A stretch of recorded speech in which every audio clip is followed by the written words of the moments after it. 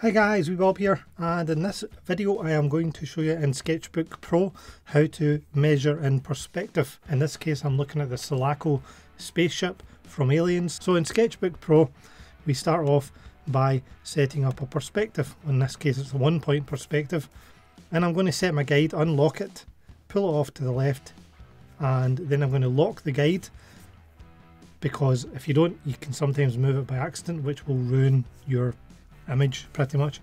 Then I just drew a cube um, as it would look on a 2D piece of paper in 3D space using those perspective guides. So if I pause it just now, the next part is the ruler. And you take the ruler, and I'll play again, and you move the ruler from point to point or corner to corner, and you draw a line between those corners. So if this is the side of the ship, drawing from that corner to that corner, and then top to the bottom corner. Now the point at which those two lines cross is the centre point within a perspective space. I'll explain that a wee bit better in a minute when you see the 2D image of the Sulaco which is here. So the 2D image of the Sulaco is here, I got it online and I'm putting a line at the front and the back and I'm drawing a box. Now I could have went closer with the top and bottom line but I'm doing exactly the same thing here, corner to corner, corner to corner and a line down the middle which tells me where the middle of the ship is.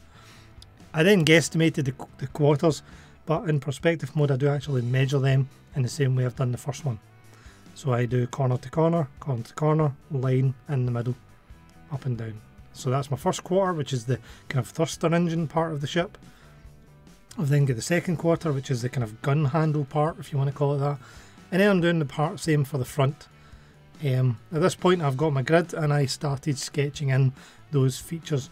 So looking at the drawing that I've got in 2D and looking at the measurements and just kind of guesstimating this wasn't going to be a super accurate drawing I just wanted to get an idea of how did the back of the spaceship kind of disappear into kind of a 3D space and it makes it look like the ship's coming towards you. I wasn't going for an exact replica of the Sulaco but you can actually use this technique to measure.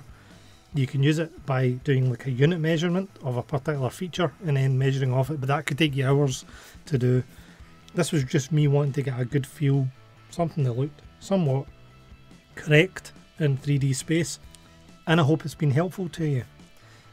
So then I just started sketching in all the features, the, the big kind of aerial sticky out parts at the front came out to the front point of my grid, and then I just started messing around with the drawing in all honesty to see what I thought. But the gun placement, this big kind of arm on the side, I was still doing my 2D reference back and forward to see where it went to in comparison to the other features of the of the ship.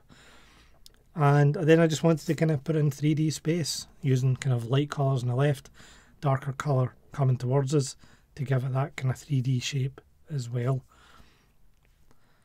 So I'm going to let it play out. I hope you've enjoyed and I'll just leave you with the music and I hope you have got something valuable from this tutorial. If you do, please remember to like, subscribe and hit the wee bell notification as it really helps my channel.